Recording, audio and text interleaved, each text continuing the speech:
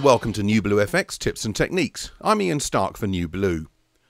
I'm always on the lookout for simple to use tools that will not only save me time, but will also add something special to my projects. NewBlue's Video Essentials 4 collection contains lots of plugins that do just that. Magnifying glass is one of them, and it's a really quick and easy way to draw the viewer's attention to a specific part of your image or to enlarge a detail that might not otherwise be seen. I can see this being used widely in training and corporate videos, documentaries and even in blooper reels.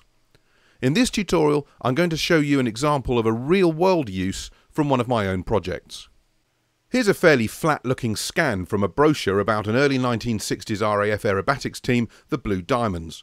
Let's spruce it up a little first by using the excellent Reflection plugin, also in Video Essentials 4, and I'll cover that plugin in a little more detail in another tutorial.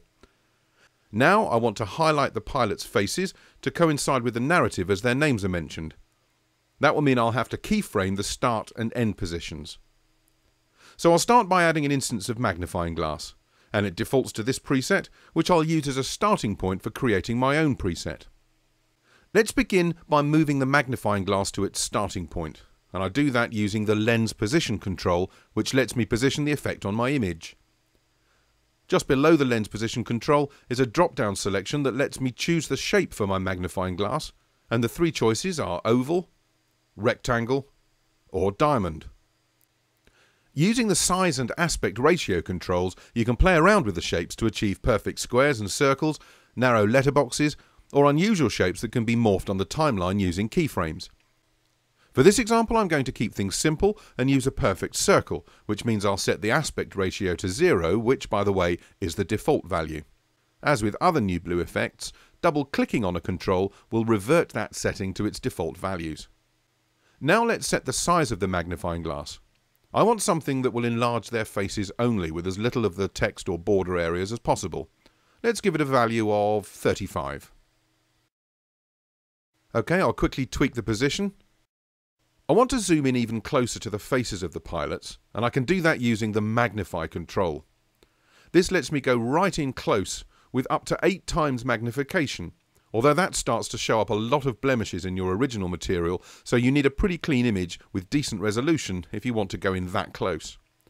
A setting of 1 will give you the original size, but for this project I want a value of 3 times magnification, which gives me a nice close-up on their faces. The final set of controls I have at my disposal determine the properties of the border or rim of the magnifying glass. I can change its colour, its width, and I can feather the edge to soften it up. At the risk of being boring, I quite like the default values for this example, as they complement the reflection settings quite nicely. So the only thing remaining is for me to keyframe the movement of the lens across the image, and there you have it. Magnifying glass is a great way to focus the viewer's attention on a specific area of the screen, and in this project the narrator will be saying the names of the pilots as the lens moves across the image. As always, I'll encourage you to play around with the different controls to see what works best for you and for your projects. You should get to grips with magnifying glass very quickly though, as it really is simple to use.